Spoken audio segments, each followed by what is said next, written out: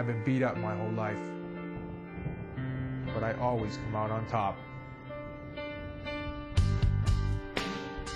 I'm a two time UFC champion, and you may hate that.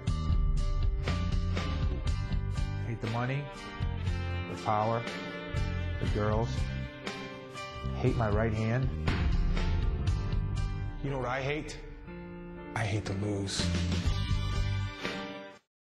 In a crazy night of upsets, people everywhere were talking about Nick Diaz. Did, Yeah. In that first round with Takanori Gomi, did you realize what would you what you guys were doing in there? Did you know it was that fast paced and that crazy? Uh, well, I kind of, I kind of had an idea of how it would be. You know, actually, I felt like I was having deja vu in there or something weird like that when I was fighting, uh, as if I'd fucking already done all that shit because I'd, you know, replayed it or thought about it in my head over and over again. Uh, and just, you know, I threw the combinations and the punches that I thought I would up against the ropes like that, uh, backed them up and, and cut them off, and you know, threw the jab hook or whatever. Uh, you know, I knew I knew it was going to be. I really didn't know it was going to be a lot like that. I didn't expect him to kind of like put his head down and just kind of loop some some fucking punch out there and, and smack me, knock me down. I was like, what the fuck? My leg didn't, you know didn't stick behind me. It fucking sat me down. Uh, but you know, I was I could see clearly. You know, uh, I knew he was to be able to punch on me. Uh, you know, I, I expected him to shoot on me. I knew I knew I knew he was going to shoot on me. Everybody's like, you know, this whole stand up war, and of course he's going to say whatever. Uh, I, you know, uh, I would I would have called it, except for that I know I knew they were fucking like playing back everything, relying, you know, everything I said in any interview or anything. They were just taking it right to him and telling him what I was saying or whatever. Because I mean, they were telling me shit he was saying, so I didn't say nothing. But I knew the little fucker was going to shoot on me right. You know, right off the get go, and, and I wasn't worried about it though, because you know he can't hold me there and stall, and he's not going to elbow me. He's going to get himself into trouble trying to punch me on the ground. And sure enough, you know, he almost got himself into trouble. And then uh, they, they they stand you right back up. And then, you know, I get back to my punch count. And, uh, you know, try to land me some solid shots. That little, uh, little guy, though, man, I, I don't know what the what the fuck. He was doing some karate in there. Uh, he's doing, you know, doing some crazy super punch shit. It's a little bit different, you know. I don't know what that was. That wasn't boxing skills, though. I mean, dude, you know, he knows how to box. Don't get me wrong.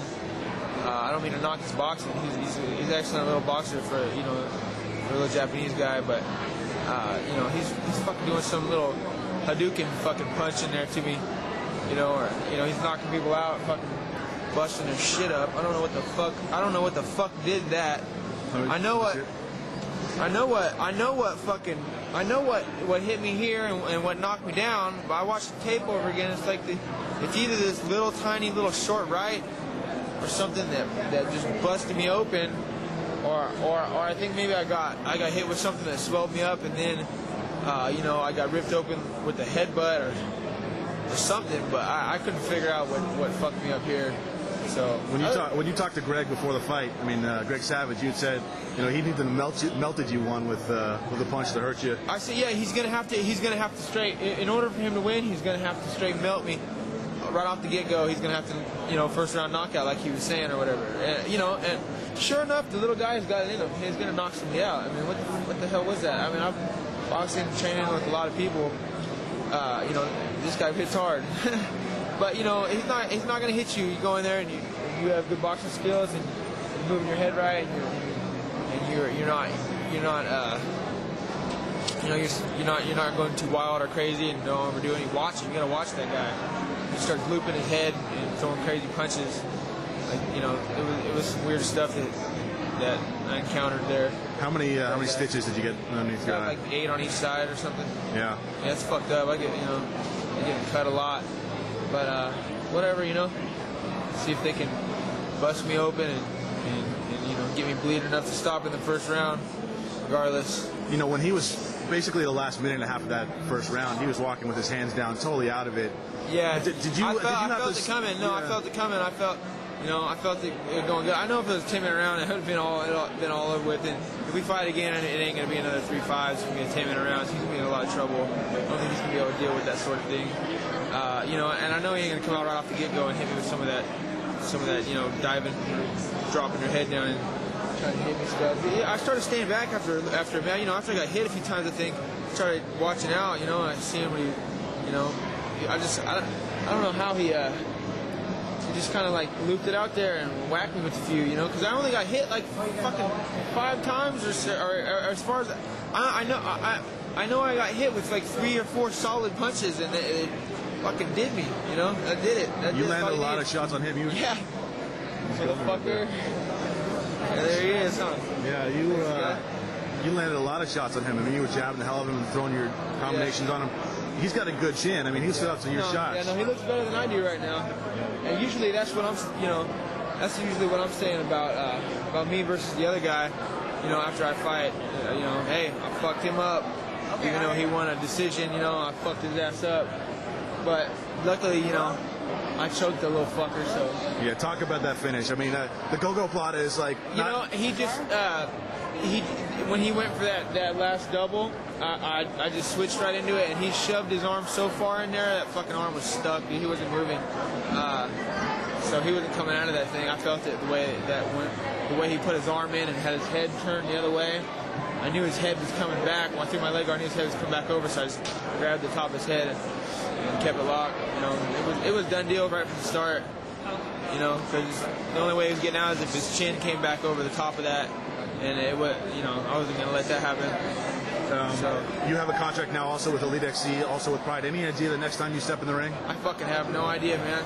I'm just waiting. You just itching to get back in there. Yeah, I really, I really hope to get back to fight something really, really quick. Some after something like that, you know, I really just want to get back in there and fight again. Uh, you know, play no games. You know, I, I, I just, I'm young right now. I want to keep it rolling, keep it moving. Uh, I'm, you know, I turned 23 a while ago and felt old. I didn't like the way I felt. It wasn't a good feeling, you know. I, I tell people my age, and they're, they're not going like, "Oh, wow, you're so young anymore." And uh, you know, it's not it's not the greatest feeling in the world. You know, I'm, trying to get on it.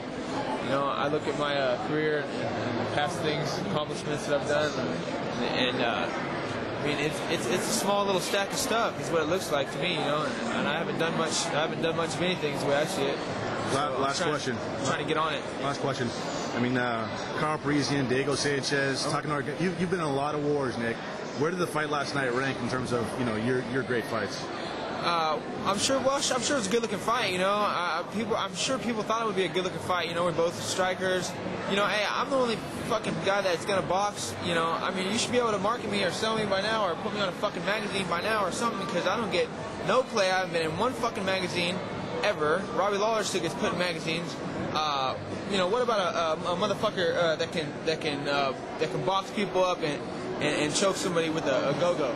You know, I'm choking people with go-go's and, and, and, and throwing throwing hooks to the head, and nobody else is doing that. You know, and it's like, you know, I'm trying to I'm trying to get paid here. You know, I'm trying to trying to have people see me or something. You know what I mean? I'm trying trying to do my job or do my thing or whatever. So whoever whoever's out there wants to see Nick Diaz, you know, come see me because I'm ready to go, man. You know.